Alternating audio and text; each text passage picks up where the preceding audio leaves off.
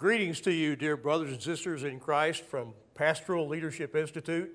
It's a real privilege to be with you here on this video greeting. Bring you, first of all, greetings from Concordia University, Texas. Dr. Tom Cedel, the president, the faculty, the staff, the students, the alumni, all those wonderful folks whose mission is developing Christian leaders.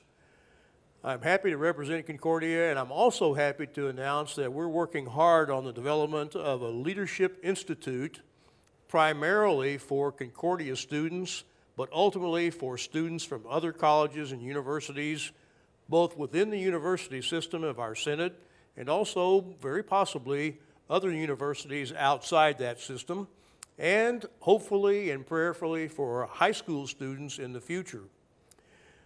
I'm also happy to represent and to bring you greetings from Pastor 360, which is a new venture that a couple of us, one man you know and one man you don't know, the one you don't know is named Davey Tyberski, and the one you do know is named Bill Tucker.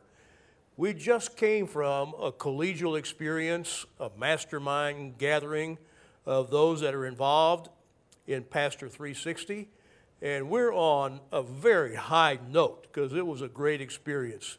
Pastor Bill Tucker, why don't you tell us a little bit about Pastor 360, what it's all about? Well, first, greetings, PLI. Uh, I love what you're doing and the growth that you're experiencing. And we're also excited at Concordia in San Antonio because we'll be host to the conference in April of 2014. So we're getting things ready. It's going to be a wonderful, wonderful conference. Pastor 360 is exciting to me because it's one of those incredible experiences like PLI where you're involved in mentoring and in coaching, you're growing your skills, you're being challenged, and what a wonderful opportunity to become a better pastor. You know, we get an un- unbelievably solid education and foundation in theology and doing the work of interpreting Scripture for our people.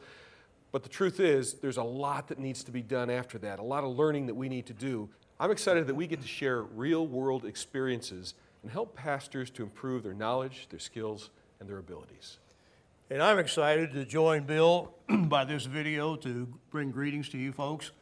PLI has always been near and dear to my heart. I remember the days when PLI first got started, and what a blessing PLI has been to the Lutheran Church Missouri Synod and to the pastors and spouses and congregations of those who have been participants.